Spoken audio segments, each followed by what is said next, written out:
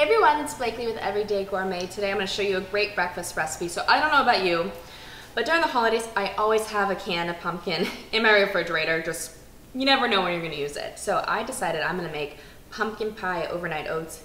Easy, healthy, delicious. I'm going to show you exactly how to do it. So in our bowl here, I have a half a cup of rolled oats. I'm doing a half a cup of Greek yogurt. Mm, here.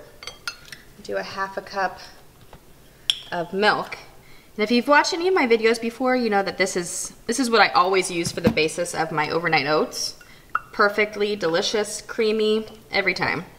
And then I'm gonna add about two tablespoons of pumpkin puree right in here.